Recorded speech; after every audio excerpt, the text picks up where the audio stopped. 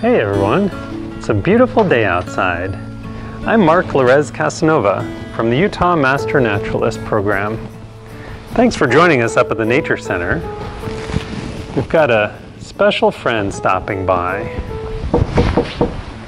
I think that might be him right now.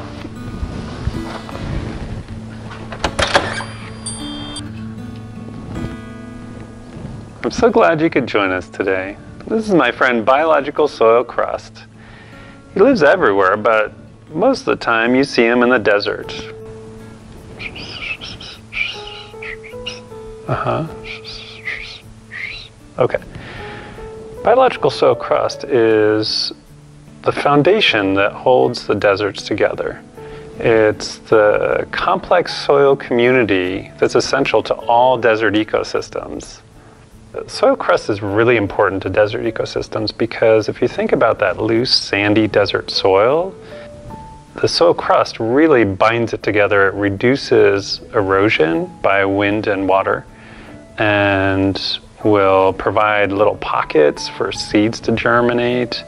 You can see these little peaks and little valleys and soil crust. And as a seed is blown along by the wind, it settles into one of those little valleys and yeah, right there.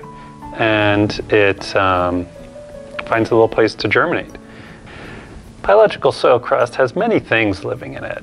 The main component is long filamentous cyanobacteria, which is a photosynthetic bacteria.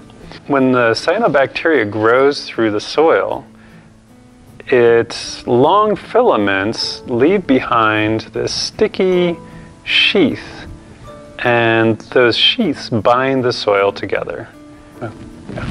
Cyanobacteria is photosynthetic, so it's using the energy of the sun uh, to produce food that other organisms can use. And it's also fixing nitrogen, right? Uh, it takes nitrogen gas out of the out of the air that we breathe and turns it into ammonia that plants can then use to grow. Biological soil crust can be damaged really easily. A single footprint can take 50 or up to 250 years to recover depending on how dry it is. What happens is that the crust goes away and that lighter colored sand actually reflects more heat up into the atmosphere and it pushes clouds away and can actually result in less precipitation in that spot where the crust is repeatedly damaged.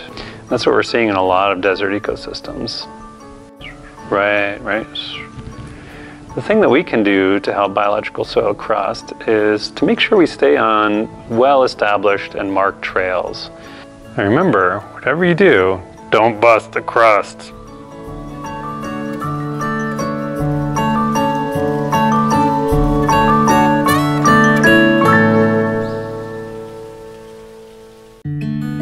Although I didn't get my vest off. I, don't, I think I'm gonna ditch the vest. It's like too much stuff.